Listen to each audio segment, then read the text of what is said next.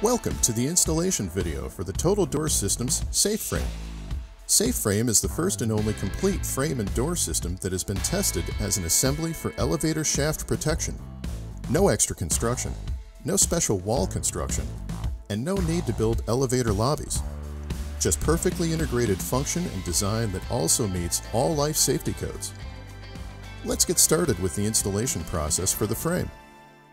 The frames are delivered with the doors and come in two long boxes, one box for the sub-bucks and the other for the finish shell.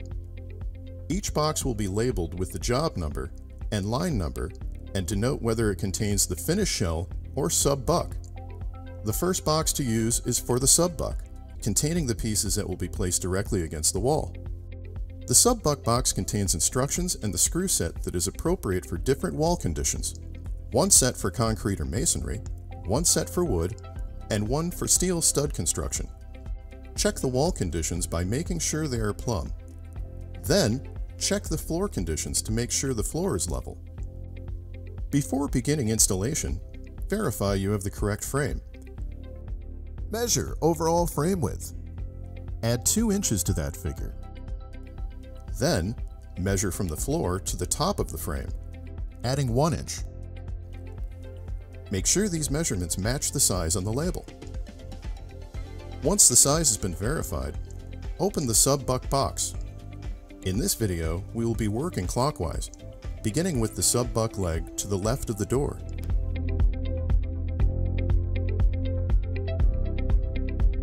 Measure and mark 7 16 of an inch from the elevator cab frame. This will help to correctly align the frame on the wall. Once the measurement is marked, take the first sub-buck part and align it with the mark on the wall. Ensure that it is level. Then, install with six screws, using holes on both sides of the sub-buck. Do not place all of the screws. Adjustments may need to be made to make sure each piece is plumb to the wall. This will make it easier to verify squareness of the finished shell. If there is electrical, feed the wire through the 1 inch hole in the sub-buck. Be careful not to pinch the wire under the sub-buck. As each sub-buck piece follows this first sub-buck, a mistake here will result in the entire process requiring adjustments. With the first sub-buck leg completed, it is time to attach the header. Square up the sub-buck header to the leg and verify by checking the stair-step interlock. Attach the header to the wall by inserting four screws in the holes on both sides of the sub-buck.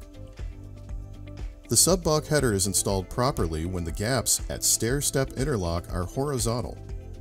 Vertical gaps indicate components are not square.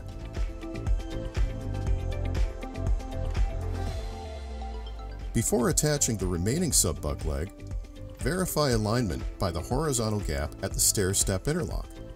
Attach the leg to the wall by inserting six screws into the holes on both sides of the sub-buck. Begin the test fit for the finished shell. Start with either leg by sliding completely into place. Once the leg is in place, slide the finished shell header completely into place. Verify proper fit at the miter. Seat the remaining finished shell leg. Verify proper fit at the second miter. If the shells do not have proper alignment at the miter joints, remove the shells and adjust the sub-buck for proper alignment. Once the shell fit has been verified, remove the shells starting with the leg, then the header. Install all the remaining sub-buck anchors. Every pilot hole on the sub-buck must receive a fastener. Before installing the finished shell, if there is electrical, please make sure the wiring is in place to be pulled through the finished shell electrical punch-out 16 inches down from the frame header. The finished shell has pilot holes on both sides of the sub-buck for the screws. Every pilot hole must receive a fastener. Place the first finished shell leg completely in place and attach using the pre-finished screws. Attach the header next, and finally, the remaining leg. Complete installation by caulking the complete perimeter of the frame. Now you are ready to install the total door. Thank you for watching the SafeFrame installation video, part of our installation video series at Total Door Systems Training Institute. For more information, please visit totaldoor.com.